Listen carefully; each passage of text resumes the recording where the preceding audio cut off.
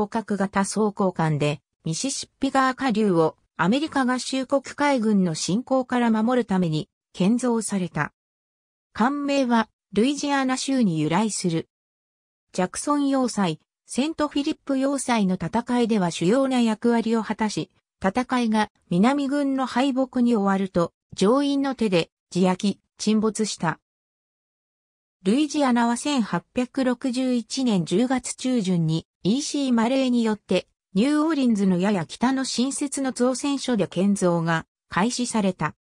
ルイジアナには外輪が2個、スクリューが2個あり、それぞれ別のエンジンで動かすようになっていた。外輪は船体中央に前後に並べて配置されており、艦に推進力を与えた。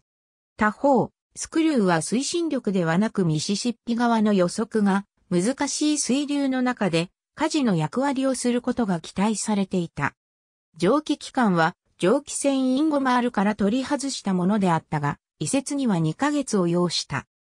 方角部は前後25フィートを除いて、艦のほぼ全長に及んでいた。装甲は平底レールから作成した鉄板を2層にしたものであり、上部4フィートは薄鋼板で覆われていた。いくつかの理由が重なって、建造は遅れた。第一は、資材の不足であり、特に鉄が不足していた。南軍は常に補給に苦しんでいたが、特に北部海軍による港湾封鎖と鉄道輸送に依存する陸軍の需要がさらに状況を悪化させた。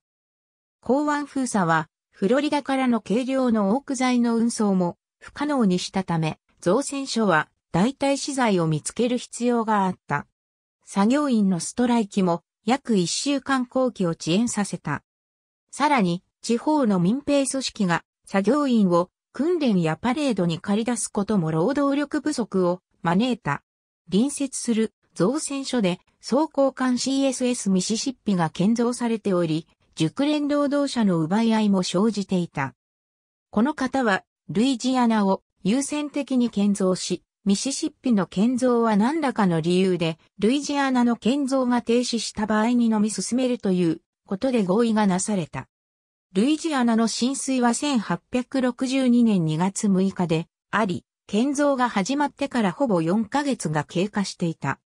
CSS ルイジアナの砲艦板のズルイジアナが浸水した直後、デビッド・ファラガット大将が率いる北部海軍の西メキシコ湾封鎖艦隊がミシシッピ川下流に侵入し、ニューオーリンズから約 120km 下流に位置する南軍のジャクソン要塞とセントフィリップ要塞を脅かした。デイビッド・ディクソン・ポーター中佐が数隻の旧砲搭載艦からなる文献戦隊を率いて、1862年4月16日に下流側に位置取り、18日には砲撃を開始した。両要塞の司令官であるジョンソン・ダンカン准将と、その直属上官のマンスフィールド・ロベル少将は、付近の南軍海軍兵力の指揮官であった、ウィリアム・ウィットル中佐に対して、ルイジアナを未完成のままでも、要塞付近に派遣するように要請した。ウィットルは、その懇願を受け入れ、ルイジアナは4月20日に収益して、正式に連合国海軍艦艇となり、チャールズ・マッキントッシュ中佐が艦長となった。この時までに、ルイジアナには、指揮官は据え付けられていたが、舵の役割を果たす、はずのスクリュー用機関の据え付けはまだであった。さらに、指揮官も不十分であり、ボイラー圧を危険なまでに上げても、川の流れに逆らって進むのは難しいことが分かった。自身で動くことができないため、艦内にまだ作業員を残したまま、ルイジアナは要塞の近くまで栄光された。そこで、セントフィリップ要塞のやや上流左岸に接岸した。ダンカンは要塞の下流にルイジアナを配備することを望んでいたが、ウィットルは北軍急砲に対し、甲板が走行されていない彼の艦をリスクにさらしたくなかった。ルイジアナは次の戦闘までその位置に止まった。ルイジアナが戦闘に耐えうるかを評価してみると、問題なのはエンジンだけではなかった。関西砲の砲画は高すぎるか低すぎるかで調整が必要であった。作業員と工具で砲艦パンが一杯であったため、乗員は訓練ができなかった。加えて、急な出撃のために乗員自体も不足しており、要塞から砲の操作要員を派遣してもらう必要があった。ほぼ一週間に及ぶ砲撃の後、ファラガットはその効果は不十分であると結論し、24日の夜に艦隊を要塞の前を通過して上流側に移動させた。停泊していた位置のため、ルイジアナの後部砲と左舷側の砲は使えなかった。その後発生した要塞と北軍艦隊の砲撃戦において、ルイジアナが果たした役割は不明である。ダンカンは、ルイジアナが12発程度の砲撃を行ったのみで、あったと述べている。他方、北軍側の記録では、少なくとも、北軍の一隻であるアセス・ブルックリンと交戦したとされている。ルイジアナから発射された3発が北軍艦を貫いた。他方、北軍の砲撃はルイジアナの装甲に跳ね返された。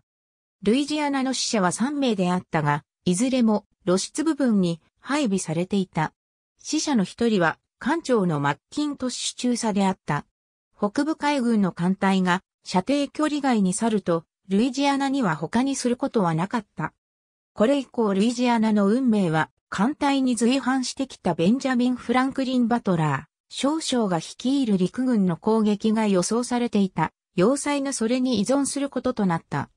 しかしながら、4月28日の夜、ジャクソン要塞の兵が上官に反抗し、ポーターに対して両要塞の降伏を主張してきた。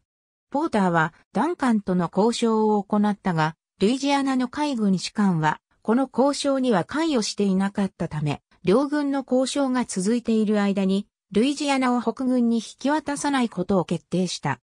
ルイジアナには火がつけられ、乗員は体感した。火はすぐにルイジアナを岸につないでいたもやい綱を焼き切り、ルイジアナは下流へ向かって漂流を始めた。セントフィリップ要塞に達したあたりで火薬庫に火が回り、ルイジアナは爆沈した。この爆発のため、付近にいた兵士一人が死亡した。ルイジアナが行動できなかったことが、要塞陥落の一因であるためか、ウィットル大将の自責士官であるジョン・ミッチェル中佐は、ルイジアナの問題点を指摘している。このいずれもが、ルイジアナの戦闘力に重大な影響を与えている。